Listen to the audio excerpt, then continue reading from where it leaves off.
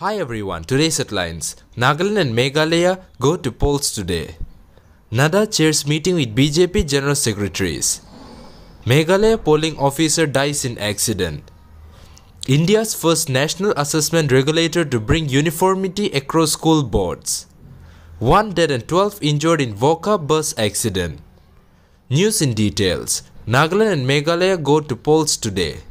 More than 34 lakh electors will choose their new representative from among 552 candidates in Nagaland and Meghalaya as both states go to polls today. A total of 13 lakh 17,632 electors including 6 lakh 61,489 male voters, 6 lakh 56,143 female voters and 7,982 service voters and over 30,000 first time voters are eligible to cast their vote in Nagaland. 183 including 4 female candidates from 12 political parties and independent are in fray for the 59 Nagaland assembly seat. In 2018 general election, the state recorded 85.62% voter turnout.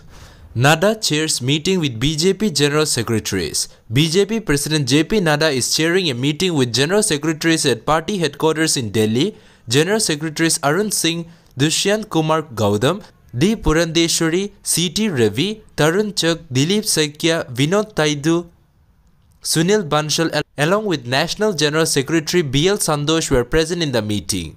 According to party sources, there will be a presentation about the position of BJP in Tripura where elections have been held. Apart from this, the prospect of BJP will also be discussed in Nagaland and Meghalaya where voting is on February 27. The leaders will also discuss G20. India is presiding over the G20 this year. Prime Minister Narendra Modi had instructed the party to ensure maximum participation of common people in the G20 program, so the BJP is trying to increase the participation of more and more people in the events to promote the display India's art and culture. Meghalaya polling officer dies in accident. A polling officer died in Meghalaya's West Garo Hills district when the vehicle in which he was traveling overturned. The chief electoral officer FR Kharkongor said on Sunday. According to the CEO, the vehicle carrying polling officials en route to Jangrapara LP school met with an accident at a remote village in West Garo Hills district on Saturday night. The other officials and security personnel reported minor injuries and were taken to Tikrikilla Community Health Center from where Kesham CH Marak and his colleagues were referred to a hospital in Goalpara.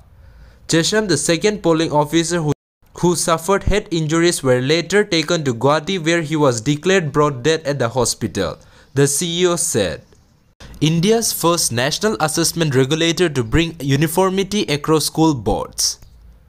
India's first national assessment regulator PARAG will bring the much needed uniformity in assessment by more than 60 boards in the country, Educational Testing Service CEO Amit Sevak has said.